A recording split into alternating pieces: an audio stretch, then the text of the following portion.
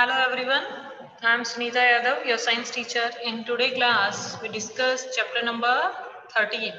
The chapter name is sound. Okay, in previous classes, we complete chapter number 13 and uh, in today class, we discuss chapter number 13 question answer. So let's start question number one. For question number one, choose the correct answer. First one is sound can travel through sound travel करता है किसके अंदर gases only Solids only liquids only solid liquid and gases तीनों में। तो solid liquid and gases तीनों के अंदर साउंड जो होता है, वो ट्रेवल कर सकता है।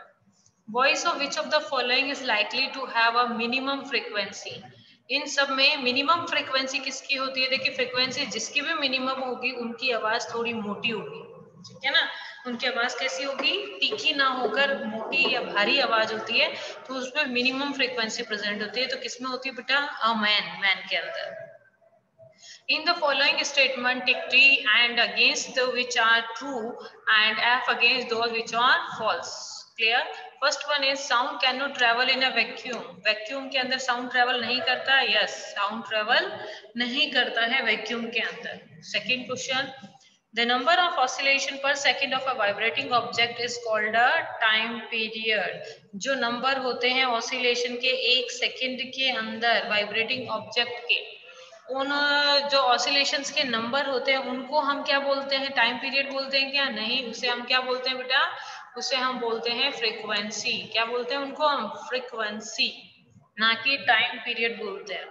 If the so our answer is false Question number third, if the amplitude of uh, vibration is large, the sound is. अगर amplitude क्या होगा? लार्ज होगा. एम्पलीट्यूड क्या होगा? लार्ज होगा. अगर ये चीज़ ज़्यादा होगी अगर एक की ऑब्जेक्ट की साउंड इतनी है तो ज़्यादा होगी तो दैट मीन्स वो कैसी नॉइज़ होगी बेटा? लाउड नॉइज़ होगी ना कि फीबल साउंड होगा ठीक है ना? तो कैसा साउंड होगा? लाउड नॉइज़ होगा. That's why our answer is false question number four for human ear the audible range is human ear audible हो सकता है कितनी range twenty hertz to 20000 hertz it's true जो ह्यूमन ईयर है, वो इतनी रेंज सुन सकते हैं 20 हर्ट्स से 20000 hertz fifth the lower frequency of vibration the higher is the pitch जो लोअर फ्रीक्वेंसी होती है वाइब्रेशन की, उसमें से सबसे हायर होता है, वो क्या होता है? पिच होता है क्या? नो वो क्या होता है बेटा? एम्पलीट्यूड होता है। जो भी लोअर फ्रिक्वेंसी होगी वाइब्रेशन की वो। ठीक है? तो इसीलिए अपना आंसर क्या हो गया? फॉल्स हो गया। Next question number six unwanted and unpleasant sound is term है, जो अनवांटेड या अनप्लीजेंट जो साउंड हमें अच्छा नहीं लगता है, उस साउंड को हम क्या बोलते हैं? म्यूज़िक बोलते हैं नो उसको हम क्या बोलते हैं? नॉइज़ बोलते हैं। तो so answer is false noise pollution में कॉज पार्शियल हियरिंग इम्पार्टमेंट जो नॉइज़ पॉल्यूशन होता है, उससे हमारी जो हियरिंग की पावर है, वो पार्शियल हो सकती है? Yes our answer is true Question number four, fill in the blanks with suitable word. Time taken by an object to complete one oscillation is called जो एक oscillation को complete होने में जितना time लिया जाता है उसे हम क्या बोलते हैं बेटा टाइम पीरियड बोलते हैं ठीक है loudness is determined by the dash of vibration amplitude of vibration जो लाउडनेस है वो किसको बताती है बेटा लाउडनेस को बताती है अगर एम्पलीट्यूड कम है तो साउंड फीबल होगी एम्पलीट्यूड ज़्यादा है तो वो उसको, वो लाउडनेस को शो करेगी तो लाउडनेस फीबल ऐसे साउंड को डिटरमाइन कौन करता है? एम्पलीट्यूड करता है। The unit of frequency frequency की यूनिट क्या होती है बेटा? हर्ट जिसको हम शॉर्ट में एच और जेड से डिनोट कर देते हैं। अनवांटेड साउंड इज़ कॉल्ड जो अनवांटेड साउंड है, उसे हमने क्या बोला? नॉइज़ बोला है। The shrillness of the sound is determined by the तीखापन जो होता है, तीखी आवाज़ और भारी आवाज़, ये किसके ऊपर डिपेंड करती है? फ्रिक्वेंसी पे डिपेंड करती है, ठीक है? क्वेश्चन नंबर फाइव ये न्यूमेरिकल है इंपॉर्टेंट भी है, आप अच्छे से समझ लीजिएगा। ए पेंडुलम ऑसिलेट 40 टाइम्स एक पेंडुलम क्या हो रहा है? ऑसिलेट हो रहा है। ये पेंडुलम है, ये ऐसे कितनी बार? 40 टाइम क्या हुआ? ऑसिलेट हुआ। कितनी देर में? फोर सेकेंड में। कितनी देर में? फोर सेकेंड के अंदर ऑसिलेट हुआ, ठीक है ना? तो टाइम मिला टाइम लिया फोर सेकेंड और ऑसिलेशन कितने हो गए? फोर्टी तो टाइम पीरियड क्या होता है? एक, जितने भी टाइम में नंबर ऑफ़ ऑसिलेशन कंप्लीट हुए उसको। तो ये टाइम पीरियड का फॉर्मूला है ये आपका पूरा। ये जो पूरा है ना, ये टाइम पीरियड का फॉर्मूला है। ठीक है?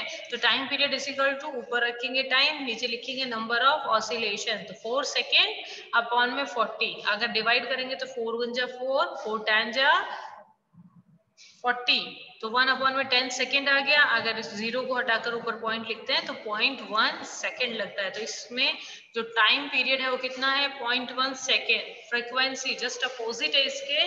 फ्रिक्वेंसी होती है नंबर ऑफ़ ऑसिलेशन कि एक सेकंड के अंदर कितने ऑसिलेशन हुए? तो ए फोर सेकंड के अंदर नंबर ऑफ़ ऑसिलेशन को डिवाइड करेंगे तो वो एक सेकंड का आ ही जाएगा हमारे पास में। तो 40 अपॉन में क्या करा? Four second is equal to four ten जा फोर टेन जो फोर्टी आंसर अपना टेन आ गया पर सेकेंड या टेन हर्ट्स हमारा आंसर हो गया है, ठीक है? तो टेन हर्ट्स हमारा आंसर आ जाता है क्योंकि फ्रिक्वेंसी को हम किसमें डिनोट करते हैं? हर्ट्स में। तो यहाँ से आप टाइम पीरियड और फ्रिक्वेंसी का फॉर्मूला अच्छे से देख लीजिएगा। टाइम पीरियड में time upon number of oscillation होता है frequency number of oscillation upon में टाइम होता है, ठीक है? जब भी क्वेश्चन आएगा तो मे बी न्यूमेरिकल्स के जो ये 44 ये चीज़ें, ये चेंज हो सकती हैं। लेकिन फॉर्मूला तो आपको याद रहेगा तो आप इजीली उसको अंडरस्टैंड कर पाएँगे। ठीक है? Question number six the sound from mosquito is produced एक साउंड मॉस्किटो का साउंड है, वो प्रोड्यूस हो रहा है। When it vibrate its wing अपने विंग्स को वाइब्रेट करता है। At an average 500 vibrations per second एक सेकंड के अंदर कितने वाइब्रेशन 500 टाइम वाइब्रेशन करता है। व्हाट इज़ टाइम पीरियड तो टाइम पीरियड का फॉर्मूला क्या होगा बेटा? टाइम अपॉन में नंबर ऑफ़ वाइब्रेशन तो टाइम कितना है? One second number of vibration कितना है? 500 तो टाइम पीरियड कितना निकल जाएगा बेटा? 0.22 सेकेंड जब आप इसको कट करेंगे तो ये आंसर आ जाएगा। ठीक है? Next identify the part which vibrate to produce sound in the following instrument आपको वो पार्ट का नाम बताना है जहाँ से इन उस इंस्ट्रूमेंट में वाइब्रेशन होता है। तो dholak stretch membrane sitar and string of sitar. और फ्लूट एयर कॉलम्स जो उनके अंदर प्रेजेंट होते हैं, वहाँ पर वाइब्रेशन होता है। तो याद रखना, dholak stretch membrane sitar string of sitar flute air column clear question number eight what is the difference between noise and music music और नॉइज़ के बीच में क्या डिफरेंस है? Can music become noise sometimes क्या म्यूज़िक भी कुछ कभी कभी नॉइज़ पॉल्यूशन में या नॉइज़ में कन्वर्ट हो जाता है? The time of sound which are unpleasant to listen is known as a noise वही वो टाइप का साउंड जो हमको अनप्लीजेंट लग रहा है, सुनने में अच्छा नहीं लग रहा है, उसको हम नॉइज़ बोलेंगे। और म्यूज़िक जो होता है प्लीजेंट साउंड होता है, हमें अच्छा लगता है, उसको हम क्या बोलते हैं? म्यूज़िक विच प्रोड्यूस सेंसेशन ठीक है? Yes music can become noise which can be too loud अगर म्यूज़िक को बहुत तेज़ी से बजाया जाए तो वो भी एक नॉइज़ हो जाता है जो हमको अनप्लीजेंट लगता है। Question number nine list the source of noise pollution in your surrounding noise pollution की एक लिस्ट करनी है आपके चारों तरफ़, कहाँ कहाँ से नॉइज़ पॉल्यूशन होता है तो वो पॉइंट्स बनाने हैं। सबसे पहले sound of vehicles sound of kitchen appliances sound of rustling crackers sound of loud speaker TV transistors clear तो इसके अंदर देखिए, आपको और भी पॉइंट्स आप इसके अंदर इंक्लूड कर सकते हो। कुछ भी आपको लगता है कि हमारे आसपास में इस तरीके का साउंड होता है जो नॉइज़ पॉल्यूशन क्रिएट कर सकता है, आप और भी लिस्ट बना सकते हो इसमें, ठीक है? Question number ten explain in what way noise pollution is harmful to human noise pollution कैसे हार्मफुल है ह्यूमंस के लिए? ठीक है?